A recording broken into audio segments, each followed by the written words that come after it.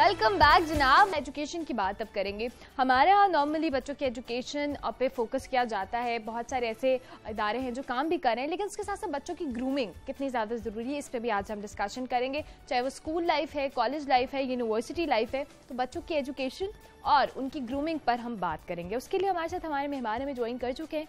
Professor Zafar Jamal हैं जो कि गवर्नमेंट एम कॉलेज के प्रिंसिपल हैं और उसके साथ साथ इरम तारिक होंगी जो कि एजुकेशनिस्ट हैं। दोनों को वेलकम करेंगे। Thank you so much for coming सबसे पहले तो प्रोफेसर आपकी जानब आएँगे। हम बच्चों के तालीमी मैार की बात करें। आप उसको किस तरह से डिफ़ाइन करेंगे? देखिए तालीमी मैार का एक जो पॉपुलर कॉन्सेप्ट है कि आप उसमें कुछ कॉम्पिटेंसीज बच्चे में दे, आ, कुछ कॉम्पिटेंसीज डिलीवर करते हैं। और बच्चा उन कॉम्पिटेंसीज को बच्चा या बड़ा उन कॉम्पिटेंसीज की मदद से अपनी अमली ज़िंदगी गुजारता है। ये एक यक तरफा तस्वुर है। कॉम्पिटेंसीज के साथ जो उसका शौरी पहलू है हम्म। कि आप आप उसे कुछ इस तरह की शौरी आगाही दें कि ज़िंदगी के मुख्तलिफ़ मसाइल के हवाले हम्म, से हम्म, मुख्तलिफ़ सिचुएशन के हवाले से वो कुछ अपना नुकता नज़र बना सके और उसमें सही तरह का अमल कर सके। तो लेकिन नॉर्मली हमारे यहाँ एजुकेशन को जो फॉर्मल सेंस है कि उस कैरियर उसका बेहतर है कैरियर में सी जी पी ए बेहतर है या इसके साथ कुछ पर्सनैलिटी स्किल्स उसने सीख लिए हैं सिर्फ़ उसको मद्देनज़र रखा जाता है जो काफ़ी नहीं है। सही ठीक हो गया। इरम आपके लिए भी यही सवाल कि बच्चों के तालीमी मैार की बात करें। आपके नज़दीक बेसिकली तालीमी मैार क्या है? तालीमी मैार आज के दौर में तो पेरेंट्स की तरफ़ से भी अदारों और टीचर्स की तरफ़ से भी हम्म। यही है कि ग्रेड्स क्या हैं मेरा क्योंकि ताल्लुक़ स्कूल से है आ, मेरे स्कूल या दूसरे स्कूल का कंपैरिजन इसी तरीके से किया जाएगा कि ये अदारा मेट्रिकुलेशन के रिज़ल्ट कैसे दे रहा है हम्म। इनका क्या रिज़ल्ट रहता है आया हंड्रेड परसेंट है बोर्ड में पोजीशन आ रही है या नहीं आ रही फोकस इसी पे है पेरेंट्स हम्म। का भी वो भी रिज़ल्ट ओरिएंटेड है जस्ट रिज़ल्ट ओरिएंटेड और अदारे भी और तरबियत कहाँ है इसका कुछ पता नहीं हम्म। यानी जब मेरे मैं पढ़ती थी या टीचिंग में जो मेरे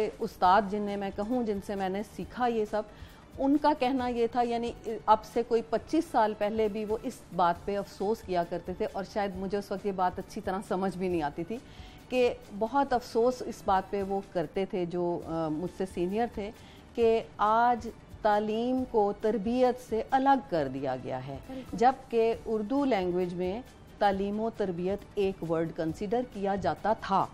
तो लेकिन अब तालीम रह गई तरबियत को अलग कर दिया गया और हम्म। तालीम जो रह गई ये अब लोग अपने बच्चों के लिए पेरेंट्स इसको ख़रीदना चाहते हैं।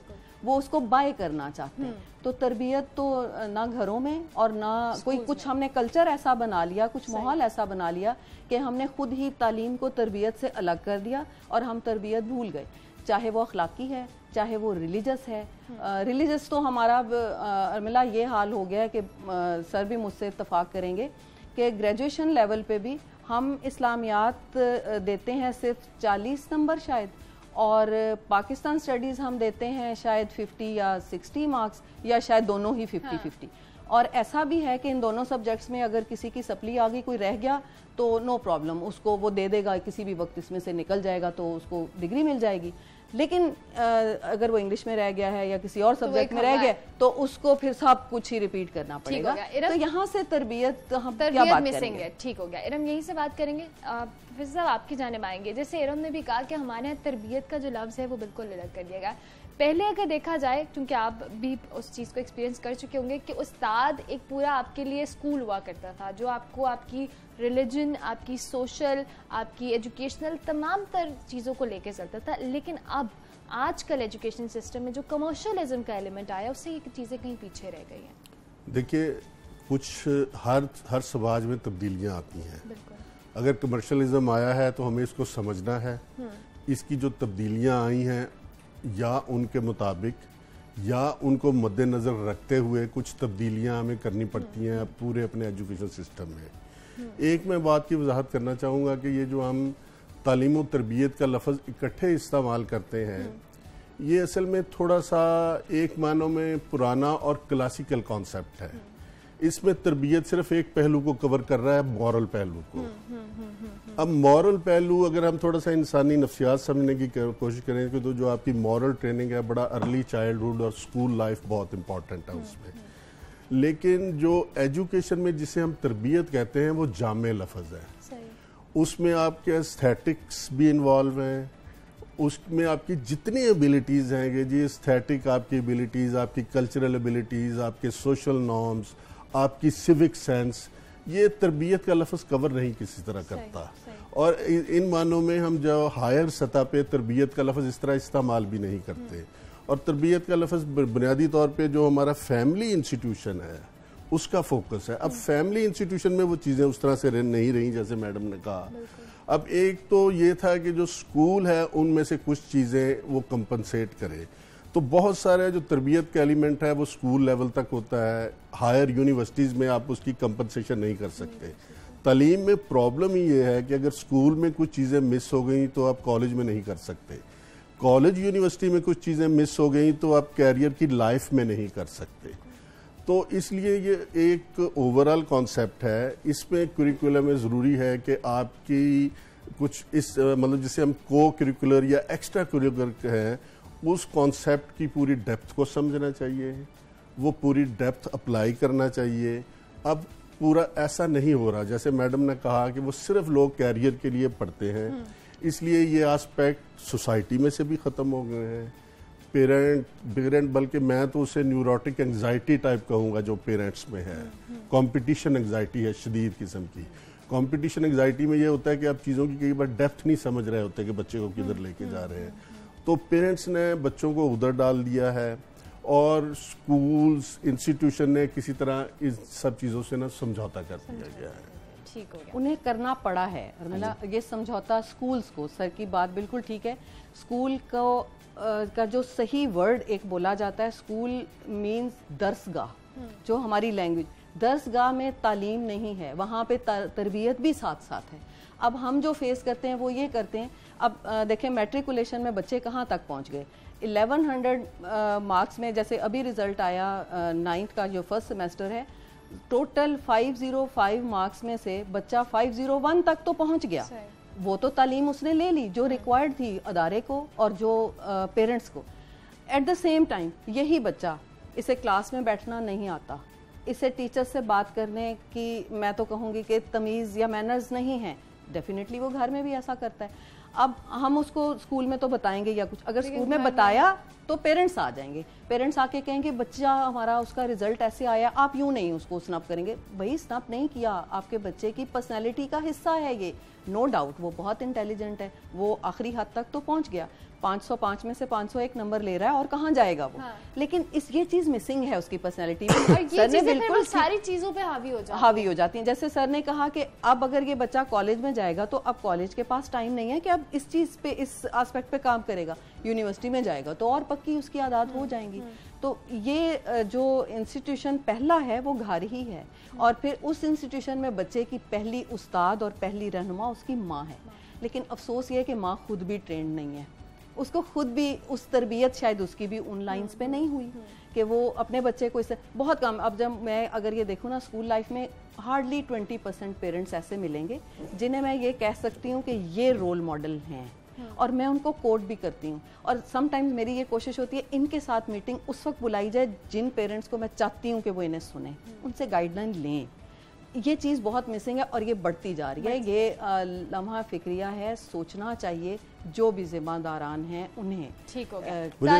एक छोटा सा मतलब मैडम ने एक नुकता उठाया था वो बड़ा अहम नुकता है। और वो कौमी सतह का नुकता है जब भी हमारे अरबाब इख्तियार पॉलिसीज़ बनाते हैं इन्होंने इस्लामियात और मुताल पाकिस्तान का कंपैरिजन किया। इस्लामियात हमारे कुरिकुलम में बुनियादी मतलब सब्जेक्ट है, होना भी चाहिए, हम सब मुसलमान हैं। लेकिन ये जम्पन के हम इस्लामियात या इस तरह का कोई सब्जेक्ट शामिल करके अगर उनमें शौरी तब्दीली ले आए और शौरी तब्दीली वो आपके बिहेवियर को भी मुतासर करेगी ये गलत है। आप पचास की पढ़ा रहे हैं, आप सौ की पढ़ा लें, आप दो सौ की पढ़ा लें। नॉलेज आ जाएगा वो आयात रट लेंगे। लेकिन क्या बिहेवियर तब्दील आएगा? नहीं। बिहेवियर तब्दीली की शराय बिल्कुल मुख्तलिफ़ होती हैं। तो इसलिए ये हमें सोचना पड़ता है कि कोई भी सब्जेक्ट है वो पूरी स्कीम में आपने 50 रखना है 25 रखना है। मुझे तो ऐसा लगता है कि मुताल पाकिस्तान मतलब उसकी रिपीटेशन कई बार हर स्टेज पे उनको प्रोफेशन में जाते हैं ना फिर भी उनको कुछ चीज़ें इस तरह की दोबारा पढ़नी पड़ती हैं।